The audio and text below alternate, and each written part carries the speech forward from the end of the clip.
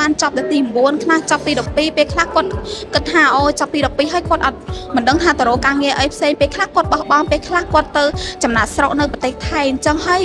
និយាយថាវាពិបាកពេលខ្លះគាត់រៀបការតាំងពីវ័យក្មេងគាត់ថាអឺចប់ទី12ហើយអានឹងគាត់អឺរៀបការហើយនឹងមានកេរចិញ្ចឹមគាត់តែគាត់គិតខុស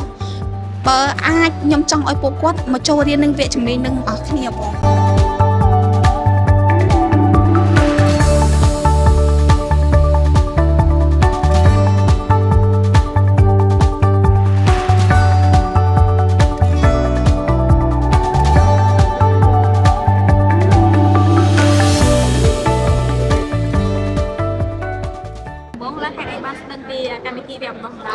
ស់ SCC អូដោយសារតែមិត្តភ័ក្តិធ្លាប់ចូលរួមមិត្តភ័ក្តិរបស់មិត្តភ័ក្តិខ្ញុំក៏ធ្លាប់ចូលរួមហើយគាត់បានណែនាំពីជំនាញអញ្ចឹង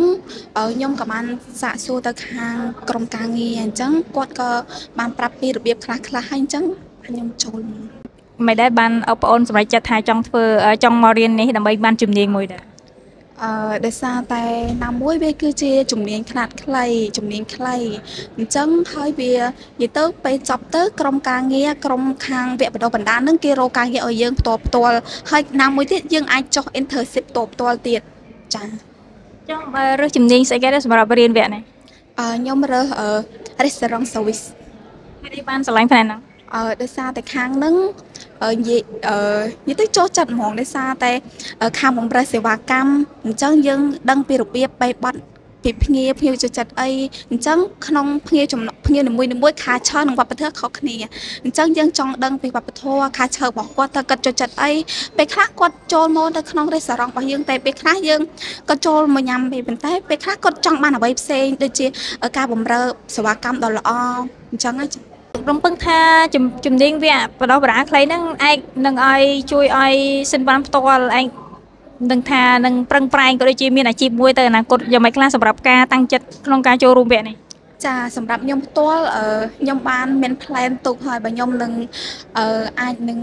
និយាយទៅអាចនឹងស្គាល់ពីជំនាញរបស់នឹងច្បាស់រៀនច្បាស់នឹងជំនាញរបស់នឹងខ្ញុំនឹងអាចធ្វើ business ខ្លួនឯងអានឹងវាគ្រាន់តែជា plan នេះបង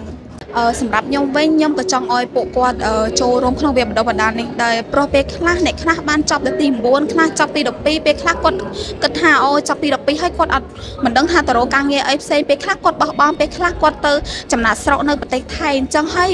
និយាយថាវាពិបាកពេលខ្លះគាត់រៀបការតាំងពីវ័យក្មេងគាត់ថាអឺចប់ទី12ហើយអានឹងគាត់អឺរៀបការហើយ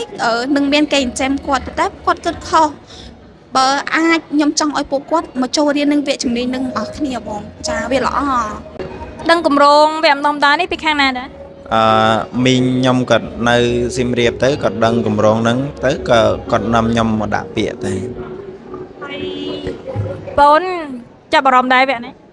អឺចាប់អារម្មណ៍ដែរដោយសារតាទៅរៀនចប់ទៅអត់ទាន់ដឹង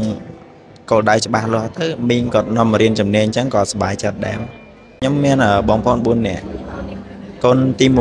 1ហើយបានមកចូលរួមរៀនវគ្គបរិបរានេះផ្នែកជ្រើសរើសផ្នែកអីគេដែររៀនអឺផ្នែកខុកបងអូផ្នែកចម្អិនអាហារហើយមិនដែរមិនបានចាប់អារម្មណ៍ទៅលើផ្នែកវិស័យម្ហូបអាហារនេះអឺដោយសារតែឃើញទីផ្សារខាងផ្នែកនឹងច្រើនហើយណាមួយក៏ឆ្លាញ់ខាងផ្នែកនឹងដែរបងបាទបាទអនាគតមានបានគិតខ្លះហើយណាថារៀនចប់ផ្នែកនេះចង់ធ្វើអីដែរនៅពេលណា អឺខ្ញុំរៀនចប់ខ្ញុំចង់ខ្លាចជាមេចុងភៅមួយរូបបងបាទសម្រាប់បងយល់ថាផ្នែកចុងភៅនេះពិបាករៀនដែរទេអឺអត់អីទេបងអឺវាស្រួលចាប់ដែរបងផ្ទាល់មិនដែលយល់ថាការចូលរួមរៀនវគ្គបណ្ដុះបណ្ដាលខ្លីនេះវាផ្ដល់អត្ថប្រយោជន៍យ៉ាងម៉េចខ្លះសម្រាប់យុវជនក៏ដូចជា អ្នកដែលគាត់មិនមានលទ្ធភាពរៀនសូត្ររៀនបានខ្ពស់តទៅទៀតអឺផ្ដល់អត្ថប្រយោជន៍ឲ្យច្រើនបង អឺជួយដល់ជីវភាពគ្រួសារផងកាត់បន្ថយបន្ទុកដល់គ្រួសារផងហើយជួយស្វែងរកការងារឲ្យអឺយុវជនយើងច្រើនផង